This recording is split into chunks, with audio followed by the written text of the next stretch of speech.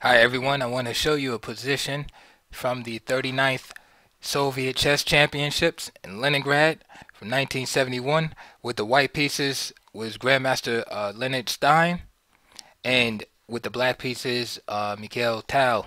In this position it's white to move. And uh, so Stein played this move e4 now, one word about these positions uh, with with the black pieces in particular, uh, they're very solid, but they also, if not handled correctly, can lead to an extremely passive position where you uh, just get ground down.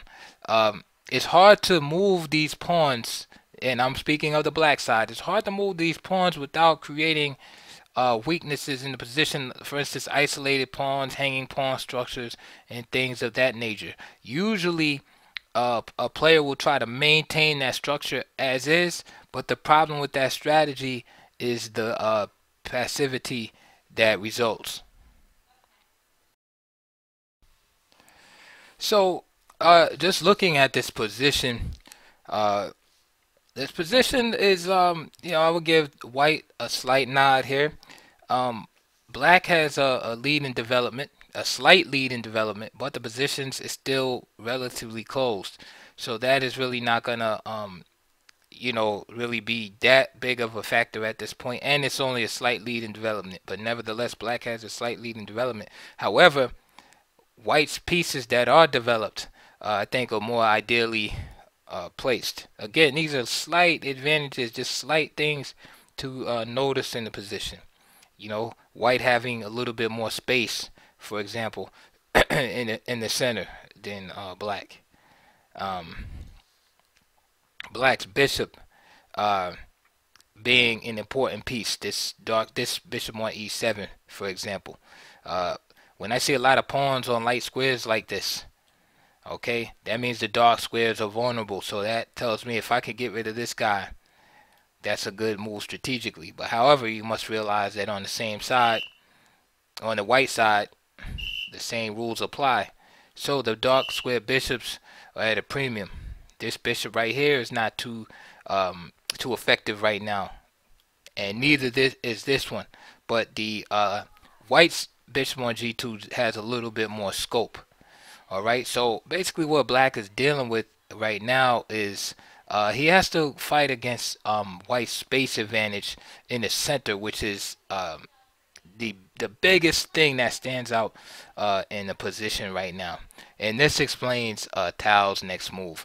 At the Stein played e4, Tal struck back in the center with uh, c5. Another option here is D takes E4. However, um, surrendering the center has to be uh, done with care.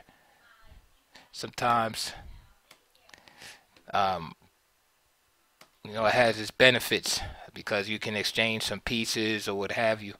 Uh, but here, um, white uh, has a good position. Again, uh, black is uh, struggling here. Not not too badly, but it's just one of those positions where he has little prospects.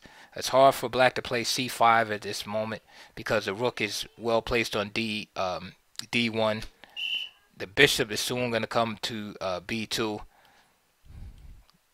Black, uh, white has great control of the e5 square, so it's hard for for black to generate counterplay. Although when you look at the position right now, he's not really losing, but the prospects are pretty dim. Another idea after queen takes e4 instead of knight f6 just bishop d6 is possible. So queen takes e4 bishop d6 and keeping an eye on e4 of course. White just simply plays bishop f4 again with a, a good position uh, for white. So Tal doesn't want to go into something like that, and he plays c5. Of course, it's double-edged, and um, it fits Tal style. Stein plays a logical move. E takes d4. Excuse me, e takes d5. E takes d5. And basically, he's just trying to inflict damage on Tal's pawn structure here. D takes c5. but Tal is right in step with him and plays this move. D takes c4. All right, and of course after bishop takes c4, and let's say rook takes c5, or even bishop takes c5 is possible. Uh, black actually comes out with a better uh, pawn structure here, and he has a nice target to attack on the c file, and this is definitely enough to give uh, black the necessary necessary uh, play in the position. However, Stein had a surprise up his sleeve. Before I get into that, though, I want to go back to um, where Stein had played e takes d5 and show you this other option, e5. And this is another option to gain space. However, with the pawns on c5 and d5 like that, um, the position can become very unstable for white, his center. So knight e4, knight takes e4, d takes e4, knight e1, for example. Again, black has a lot of counterplay here. f5, how are you going to break that down? Uh, e takes f6 en passant. Knight takes f6. However, let's go a little bit more. The bishop e3, for example. Again, white ends up with the kind of structure whereby he can work on for 50, 60 moves, you know, working on these uh, e-pawns. Black has no choice but to play dynamically in a position like this.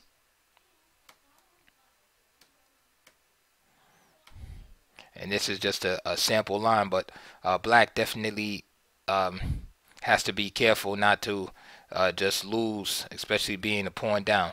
The plus in the position is Black is fully developed and has, um, you know, his bishops are well placed, his rooks are well placed, his king is safe. So he has attacking chances, and this is how he has to uh, play in this game. Possibly even sacrificing the e pawn, for example, the move like e3 just to open this diagonal. Because there's no there's no question about it that black must play uh, dynamically. Another another example is this move right here, attacking this guy right away. All right. And after showing you that line, you could kind of see that Tal might favor a line like that right? Sacrificing, sacrificing a pawn to get all this activity. All right. So Stein took this road because you got to remember by 1971, the world knew, you know, Tal style. It wasn't like it was 1957 and you know people didn't know how Tal played. At this point, people knew, you know, uh, Tal's reputation. As they say, his reputation preceded him. So back to the game after uh, e takes d5, e takes d5, d takes c5 by Stein, and now d takes c4 by Tal. If uh, bishop takes c5, then Stein has a good move right here, at knight h4. And what this does is exploits the pin right here on this um, this bishop Notice this pawn can't move. And it's kind of related to some of those Queen's Indian lines where the pawn is sacrificed on d5 and this knight goes here and here. It's kind of the uh, similar uh, idea. Of course, he could have just played knight d4 too with the same idea as the bishop on b7 is not adequately protected. So it's kind of like white has a, a move that, you know, extra move uh, you know, to exploit that situation. However, Tal played a good move. He just played D takes C4. And again, I think he's just anticipating B takes C4 and Rook takes C5. All right. But instead, Stein played the beautiful move here. After D takes C4, D takes C4. He sacrifices the pawn. He doesn't try to catch, cap, uh, recapture the pawn on C4, but he just plays B4. B takes C5 from Tal. And B5. And that is the stellar move of the game. I wish I could have saw Tal's face when that move appeared on the board. And now what you have pretty much is a 2 to 1 uh, pawn majority on the queen side for white. You have the pawns on the A and B file versus the pawn on the A file. And White's argument is to prove that those c pawns are weak. Queen b6, bishop f8, excuse me, bishop f4. And this is an interesting position right here because the queen is precariously placed on d8. All right. And you see the rook on d1 is there in opposition. So Tal wants to get the uh, queen out of the way here. So he plays queen b6. Now bishop f4. Now notice the queen the queen doesn't really have a lot of squares to go to, so Tal has to make sure his queen doesn't get trapped. Rook fd8, and now a4, and the, the threat is real simple. It's just to play a5, trapping the queen. So now this explains Tal's next move, which was queen a5. If he tried to play, um, let's just make a random a random move here. King h8, for instance, a5, and then queen e6. It looks like he can escape, but after knight g5, queen is trapped. Okay, there's nowhere. There's no. Um, I'm sorry. The queen. The queen is is hit right here. The queen goes to here, and then you just win this piece. Bishop takes uh, b7. So the threats. The threats to trap the queen are what leads to loss of material. This is why Tal had to play uh, queen h. Or why he played queen a5 here. Another move he could have tried to um, you know, get the queen out of danger was knight h5. And say after knight g5, threatening check on h7, bishop takes g5, bishop takes g5, knight df6, and now a5, then the queen can jump back to c7. Although after rook takes d8, rook takes d8, the pawns start marching. b6, a takes, a takes b6, and the queen, of course, can't capture because of rook b1. And let's make uh, and go back again another line after knight h5 instead of knight g5 bishop takes here bishop takes is um black could try this in between move. Bishop takes here, but that fails simply to bishop d8 with the attack on the queen. So no rest for the weary. So after a4, Tal plays queen a5. Knight d2. So now, not only is white threatening to get the material back, but here's the harassment of the queen again. So now bishop takes g2. In between move or uh, Zug. Knight takes c4. Queen b4. Knight a2. There's constant harassment of the queen. Now, only way out is to play bishop e4. Knight takes. Bishop takes c2. Knight takes c2. Alright knight b6. Stein starts simplifying, knowing knowing that he has a superior uh, ending here now. Knight 2 e3, knight takes c4. knight takes c4, knight d5, and now Stein makes a slight slight uh, error here, plays rook d1. Um, Better was rook e1 just threatening a mate uh, right away. Bishop f6, bishop e5, and let's say for example rook e8 and then the pawns could start rolling now. Instead, he played rook d1. Knight b6. And this was a mistake by Tal. Tal actually, his best shot, he, although white will still be better here is probably knight takes f4 but he went for a more dynamic approach and his uh, approach during the game is based on sacrificing a piece for the two pawns. But this might have give gave more chances.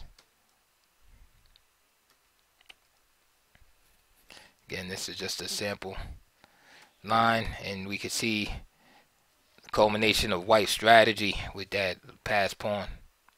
So here, Tal played knight b6.